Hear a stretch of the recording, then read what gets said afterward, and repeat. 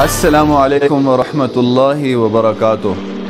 آج اتنی پیاری چیز آپ کو سنانی ہے، اتنی سی تو ہے بولنے میں۔ اگر یہ بھی نہ کر سکیں تو آپ کی اپنی مرضی۔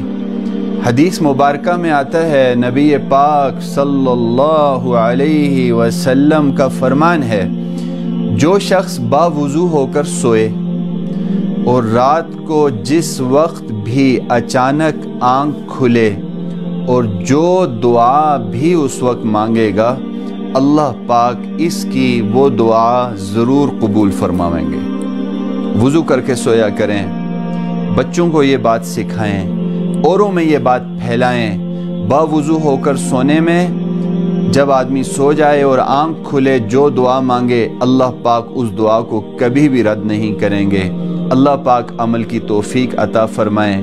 السلام علیکم ورحمۃ اللہ وبرکاتہ۔